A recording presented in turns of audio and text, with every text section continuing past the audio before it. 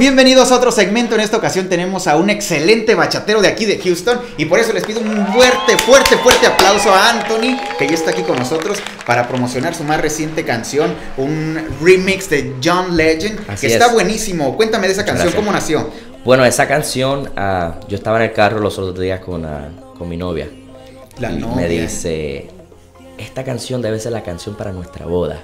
Me dice, ¿A poco te vas a casar? a ver qué pasa, a, ver, qué, pasa.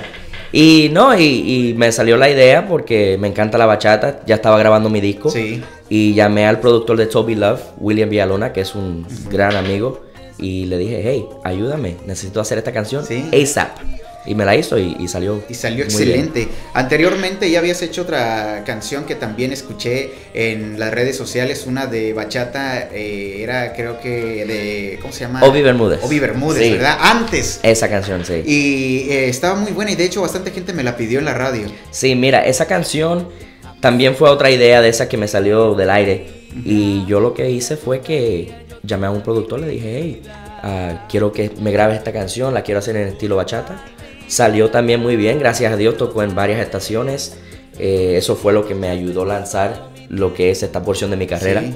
Y bueno, llegó hasta Israel, la tocaron en. Japón, I mean, ¿A poco los Sí. japoneses? los japoneses también, ya. Le- les gustó la bachata. Fíjate, Sí, son sí. buenos bailarines los este, japoneses. Sí. Eh, fíjate, la canción, este, excelente.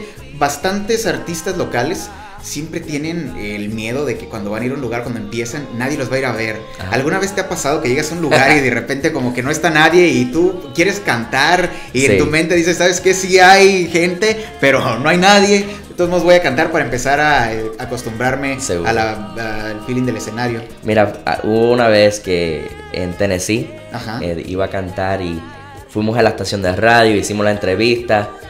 Lo que me dieron fue un papelito que dice, vamos a tocar en tal sitio Sí. a tal, a tal hora.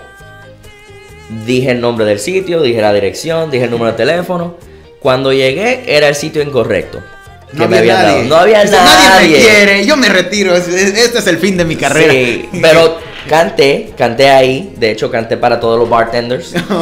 Y después me fui al lugar donde, donde anuncié Y de sorpresa y de canté. Ah, Sí, y entonces que vine a cerrar, yo era el estelar, así es de que Seguro. ahora se aguantan, Así se quedan. mismo. Eh, ¿Nos puedes cantar un pedacito de la canción de ah, la más reciente que estás ahorita promocionando para que la gente vaya ah, familiarizándose con tu música y vea que sí hay talento en Houston? Seguro.